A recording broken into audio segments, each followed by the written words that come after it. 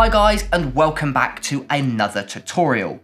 Now dynamic range is really important and you want to make sure that your photo has got just the right amount. Not enough and your photo can look flat, too much and your photo can look HDR. So in today's video, I'm going to be sharing with you a couple secrets on how you can really maximize the dynamic range of your photo inside Lightroom. And I'm going to start right now.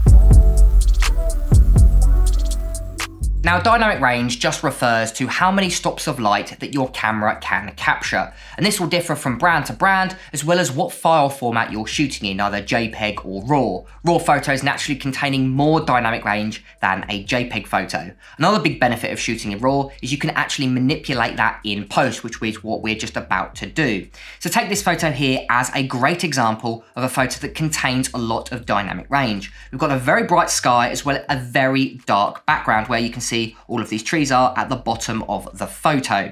So what we really want to do is to have a look at our and work out where that dynamic range needs to be added. And then we add it in there. And there's a few tricks that we can use inside Lightroom. Now the first trick I'm going to be talking about is actually a shortcut called clipping. And clipping is really important, something you definitely want to avoid. This is when we overdo our dynamic range and push the photo a little bit too far. Sometimes your photo can look flat that's kind of lacking in dynamic range, but you can go too far. So what we're gonna do is press J on our keyboard. And the colors that you want to avoid appearing in your photo is red and blue, and I'll quickly show you. So what we'll do is head over to my basics panel. What I'll do is I'll just go to my exposure and I'm gonna slide that over to the right. If I push it too far, red will appear in our image. And this is red over pixels. So these are pixels that are so overexposed, they contain no information. And the same will happen if we underexpose our image. So if I slide this over to the left, we can see blue now appearing in the bottom of our photo. So if you're wondering if your photo's got too much dynamic range, turn on your clipping overlay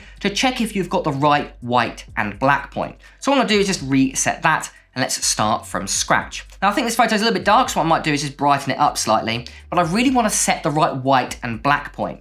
Now for that, you've got these two sliders here. You've got your white and black sliders, but you might be wondering, well, where in, on that slider is correct? Where is the correct white and black point? Well, actually, there's a really quick trick in Lightroom. Simply hold down Shift and double click on the white slider. What this will do is it will correctly set your white point, and then simply hold down Shift double click on your black slider and it'll correctly set your black point. It's really, really useful tool. Now you can see we've got roughly the right amount of dynamic range for this photo. Now what I recommend doing is going to your highlights, manipulating those, maybe bring back some of that information, and then the shadows here, I'd also bring that up as there's so much more information in the shadows. A great way of shooting in RAW, you can see how much actual color information is stored in those shadows. So I might bring that up a little bit, and bring down those highlights. But we can actually go a little bit further and kind of dodge and burn the photo. Now, dodging and burning is basically just the premise of brightening the brightest points and darkening the darkest points. And it can really add depth to your photo. And we can actually use masks to achieve this inside Lightroom. So what I'm gonna do is I'm quickly go ahead over to my masking panel and just create two masks for this tutorial, a brighten mask and a darken mask. So the first one I'm gonna do is create a linear gradient, select most of the bottom part of our photo. I'm gonna go to my exposure here and simply drop that down, bringing more information on the left-hand side of the histogram, making sure that I've got true black in my photo.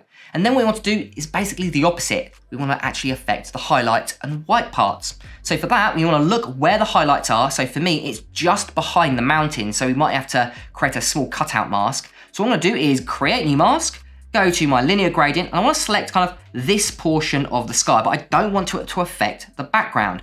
So I'm going to kind of create an intersect mask. So I'm going to do with my mask selected, go to my settings of the mask, go to intersect mask with, and then select sky. You might not have to do this, but actually for me, because the bright point is behind the mountains, I have to create an intersect mask. Then all I'm gonna do is go to my exposure here, look at my histogram, just before it starts clipping, stop. And now I've got the proper whites and blacks in my photo and I've got so much more dynamic range. And this trick will work on every single photo. So they're the three things that I recommend using. Making sure your clipping is turned on so you don't go too far, making sure you haven't got any way too overexposed or way too underexposed pixels in your image. That's definitely something you want to avoid, as well as properly setting your white and black point by holding shift clicking on the white and black sliders, and then lastly, dodging and burning your photo using those two masks. And as you can see, what I'll do is I'll quickly show you the before and after. The photo looks so much better after those three steps. And if this tutorial helped you out, make sure to write it down in the comments below.